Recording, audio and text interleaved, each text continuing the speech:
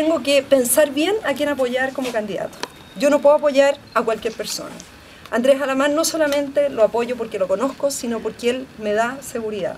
Seguridad que frente a cualquier problema que tengamos en Chile, ya sea un problema de riesgo de la naturaleza, nuestro país está acostumbrado a tener problemas de la naturaleza, terremotos, tsunamis, temporales, frente a un problema con algún país que limite con Chile, frente a algún problema de carácter económico, frente a un problema de riesgo social, yo tengo la seguridad de que Andrés Alamán va a tener los elementos de juicio y va a tener los elementos y las características personales para enfrentar un problema de esa naturaleza. Por eso me da de verdad una gran seguridad. Yo me siento muy segura y confiada cuando él está a cargo de tomar decisiones. Por esa razón es mi apoyo absoluto y total a Andrés Alamán. Andrés, te damos la bienvenida aquí a nuestro Valle de la Concagua. Yo le voy a dar un beso a la Lili. que Dios además hoy día nos ha privilegiado con un día increíble, precioso, siempre es precioso aquí en nuestro valle para que te entusiasme y vengas seguido a vernos. La semana pasada estuvimos en Marga Marga en Villa Alemana, en Quilpué, en Limache, así que vamos a seguir recorriendo aquí nuestra región, porque lo importante también es que los candidatos presidenciales conozcan en las regiones y en las provincias cuáles son nuestras necesidades, nuestros sueños, nuestras aspiraciones, nuestros problemas, se empapen de ello y también conozcan en profundidad de qué se trata. Por esa razón estamos muy contentos y agradecidos, Andrés, que hayas llegado, que nos acompañes que hayas además tenido la oportunidad de consultar, de consultar cuáles son los temas más relevantes de nuestra zona y particularmente aquí en nuestro Valle Concagua, así que te damos toda la Yo quiero por supuesto partir agradeciendo las cariñosas palabras de la senadora Lili Pérez, un gran respaldo para nuestra candidatura presidencial y tal como ella ha dicho, explicar cuál es el motivo de nuestra gira, de nuestra visita. En primer lugar, nosotros decimos que el gobierno ha hecho la pega y la ha hecho bien. Ese es nuestro punto de partida. Nosotros pensamos que el país debe continuar adelante por un camino de progreso, por un camino de creación de trabajo, por un camino de crecimiento y de emprendimiento. Y que no debemos volver a los gobiernos de la concertación que dejamos atrás hace ya tres años.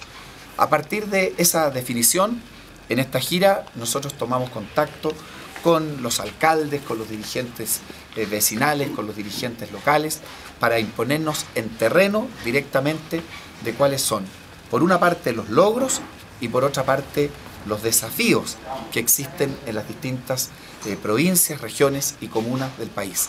Siempre en el ánimo de escuchar a las personas, pero siempre también con el norte muy claro, que Chile mantenga el buen rumbo, que las cosas que haya que mejorar se mejoren que aquellas cosas que no se ha alcanzado a hacer, porque en cuatro años es muy difícil hacer todas las cosas, se puedan sí eh, continuar proyectando hacia adelante.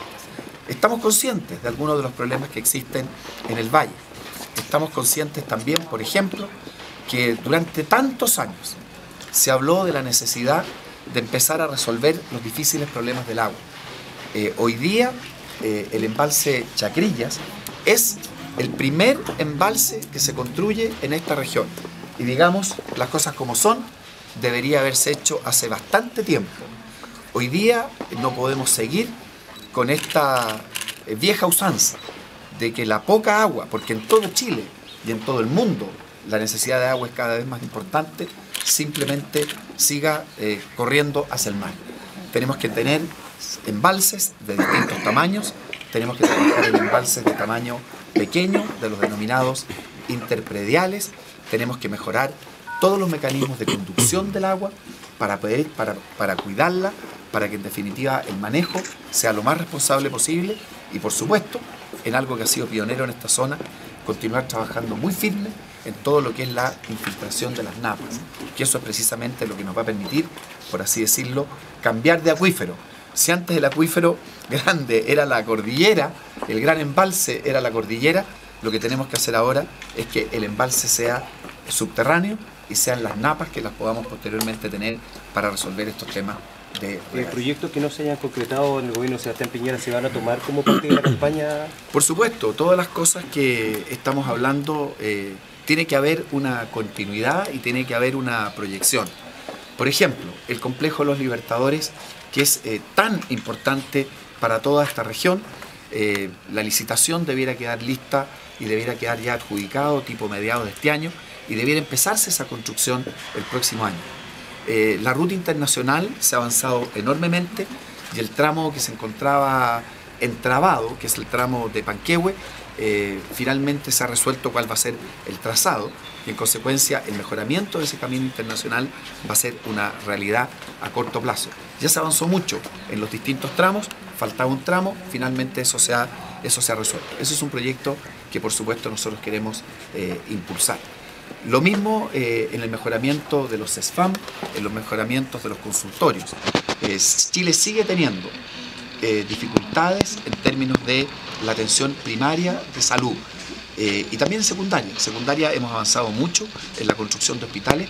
En la quinta región se van a construir cinco hospitales nuevos durante el gobierno del presidente Piñera. Pero como siempre dice la senadora Lili Pérez y el senador Francisco Chaguán, una cosa es la infraestructura y otra cosa es la atención. Entonces tenemos que tener, ojalá, un mucho mayor número de médicos especialistas, que es verdaderamente la gran demanda que hoy día existe. Y por supuesto, mientras más, eh, mientras mejor logremos que funcionen los consultorios a nivel de la comuna, mucho más fácil va a ser precisamente la atención posterior. Eh, las listas de espera eh, se han reducido notablemente, particularmente en el caso de las listas de espera auge. En mi futuro gobierno yo voy a mantener el pie en el acelerador porque no quiero que se vuelva a ocurrir que vuelvan a crecer esas listas de espera. Y también se ha hecho un avance muy significativo en todo lo que es la reducción de las listas de espera no auge. Miren, en verdad, eh, si uno tuviera que decirlo en una frase, eh, de aquí a noviembre los chilenos van a tener que resolver qué camino quieren para el país. Si quieren volver atrás a los gobiernos de la concertación o si quieren continuar con un camino de progreso. Y lo que yo afirmo es que Michelle Bachelet va a llegar a asumir su candidatura, pero va a encontrar un país integralmente mucho mejor que el que ella dejó hace 10 años atrás. ¿Cómo cuento? Yo estuve ayer en San Antonio. En San Antonio eh, se está instalando una fábrica de contenedores refrigerados, la más moderna del mundo. La empresa holandesa que la iba a instalar tenía dos opciones. La instalaba en Chile o la instalaba en China. Era como un chichi. Chile o Chile. O Chile. Finalmente se instaló acá. Vamos a necesitar 1.800 personas capacitadas para poder eh, sacar adelante y poder trabajar en esa industria de nivel mundial. ¿Cuál es el problema que tenemos hoy día en la provincia de San Antonio? Que nos falta gente capacitada. Y estamos haciendo un programa especial de capacitación de personas en el ámbito técnico profesional. Tenemos que trabajar en eso también. Y el tercer punto es el financiamiento, que siempre sea posible acceder a todos los niveles de educación, que no haya ningún joven que por razones económicas, por ejemplo, no pueda ir a la universidad o no pueda estar en un centro de formación técnica o en un instituto técnico profesional. ¿Y qué decir del bono? Eh, porque el país está bien, es que hemos podido ver eh, y vamos a recibir, van a recibir todos los chilenos eh, un bono que tiene dos características importantes. Por primera vez le va a llegar a 300.000 familias de clase media y además le va a llegar a los discapacitados de cualquier edad. Dos grandes avances. Y aquí simplemente pensar la voltereta de la concertación. Cuando el presidente Piñera el domingo anunció el bono, reclamaron, dijeron que era demagogia, dijeron que no se justificaba. Eh, eh, digamos, fue una verdadera andanada de críticas. Ayer, en la Cámara de Diputados, todos los parlamentarios votaron por unanimidad este bono, porque es un bono que va en beneficio de la gente y que si se puede dar es porque las cosas se han hecho bien. Esa es la política que los chilenos tienen que rechazar, la política eh, pequeña, la política mezquina. Oponerse por oponerse. Quizás algunos señores un bono de 40.000 y de 7.500 pesos por, por, por carga o por hijo les resulta poco importante. Pero para las familias del 60% más vulnerables, por Dios que les ayuda. Y fíjense esta vuelta de carnero. El domingo en la noche estaban todos en contra. Ayer cuando tuvieron que votar, estaban todos a favor. Andrés, eh, la diferencia entre su candidatura y la de eh, Goldberg también. Y segundo, ¿cómo se compite con una candidata cuya mejor fortaleza ha sido no hacer campaña? Yo lo voy a decir. Lo voy a decir porque como mujer, no basta, no basta con, con ser mujer eh, para tener y representar bien a las mujeres. Presidente Piñera ha sido lejos el presidente más feminista que hemos tenido en Chile. Postnatal extendido a seis meses, ley de violencia intrafamiliar, tolerancia cero, hemos incluido las relaciones de pololeo la semana anterior, ley de femicidio, bonos extraordinarios para mujeres, regulación de los horarios de trabajo y contrato de las empleadas de casa particular, por nombrar algunos de los avances que hemos tenido con las mujeres y hemos trabajado fuertemente en ello y además yo he trabajado en calidad de coautora de muchos de estos proyectos de ley. Por lo tanto, Andrés Alamán va a continuar esas políticas públicas del presidente Piñera. Y las, las fortalezas de los candidatos al interior de la coalición nuestra las tienen que decidir los electores, no los candidatos.